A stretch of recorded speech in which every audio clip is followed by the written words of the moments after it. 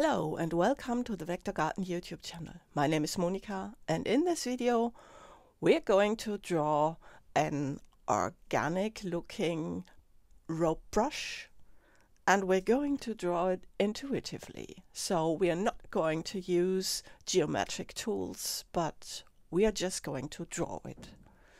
So in order to draw this rope we're going to start with a thing that repeats in it which is this curve, this S-shaped curve.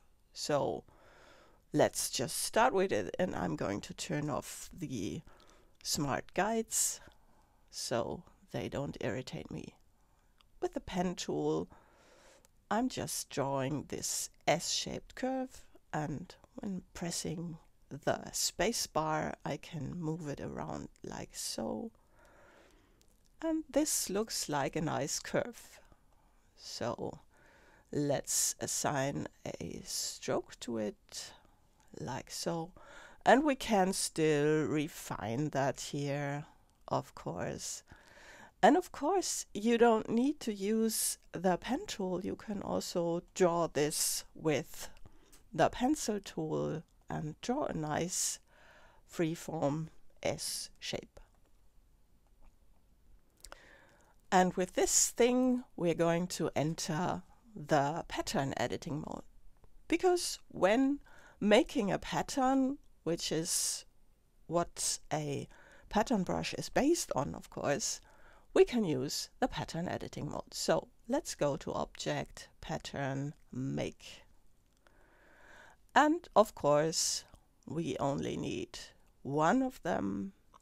And maybe you see where this is going to go. So let's go to the pattern tool here and I'm going to hide the swatches. And then what we are going to do is make this one smaller like so. And this looks nice. So now we're going to edit the shapes themselves to get them into that shape that we are after. And adjust this like so. So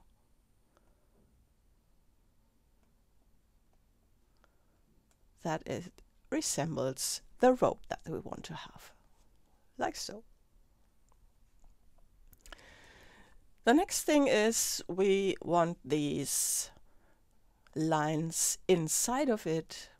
So we are going to add some more lines to get this nice texturing into the rope so that it resembles a rope. And you see Illustrator just adds what we need there. And then let's get some down here and some more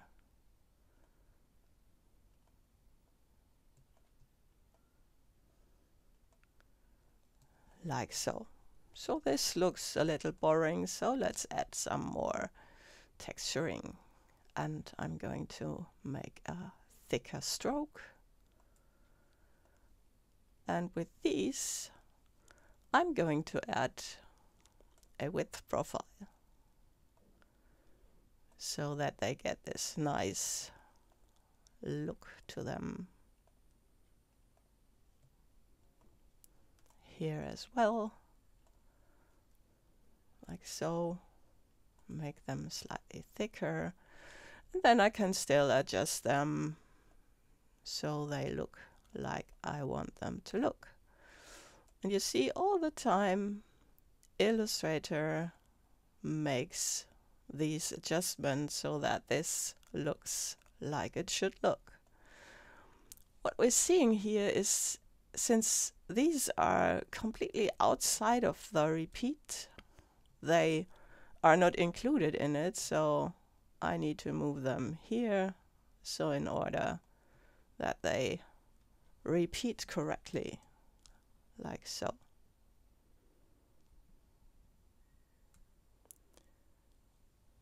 okay. And that is this. So let's take a look at this again and I'm going to make it larger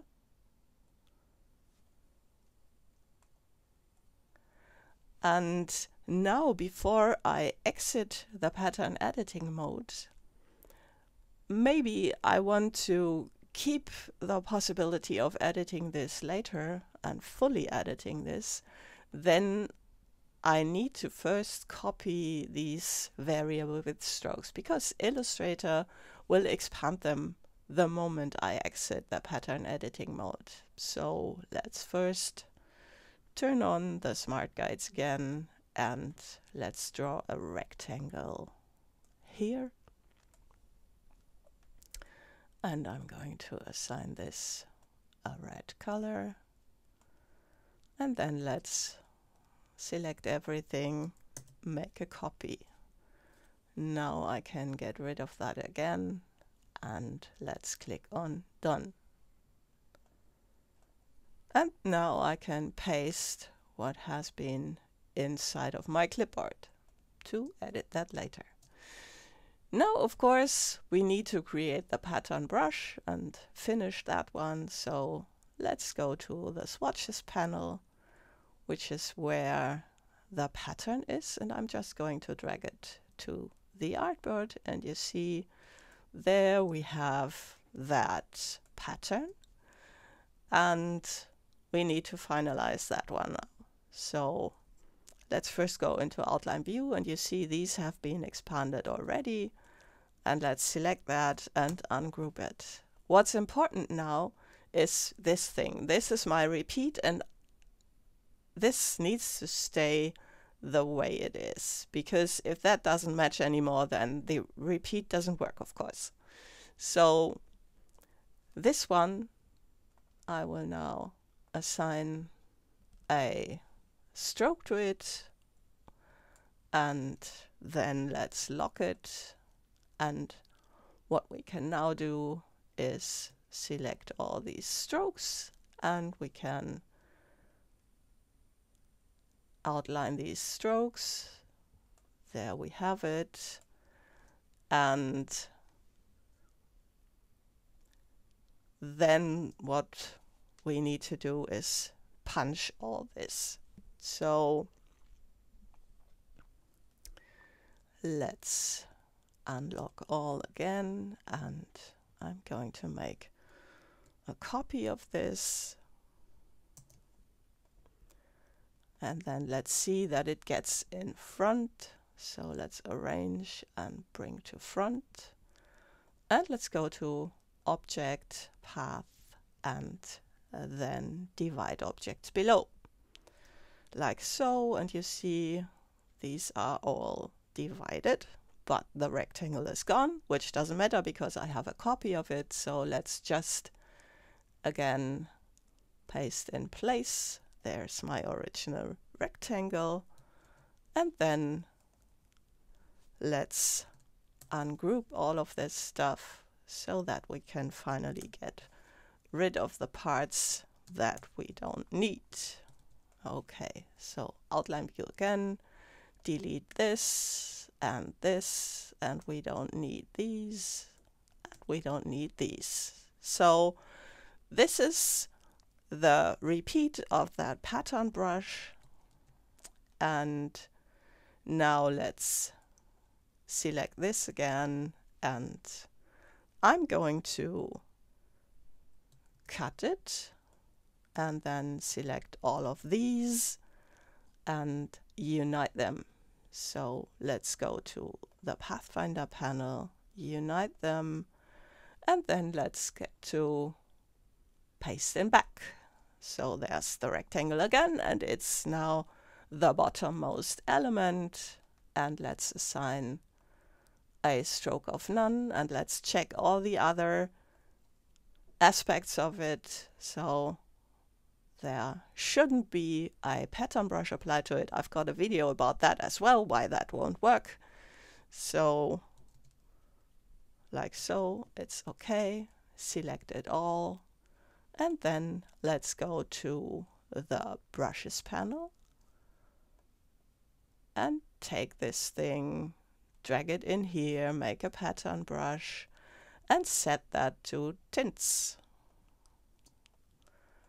And then let's just use our brush. There it is. Organic rope brush drawn the easy way. If you liked the video, please give me a thumbs up and subscribe to my channel. See you next time.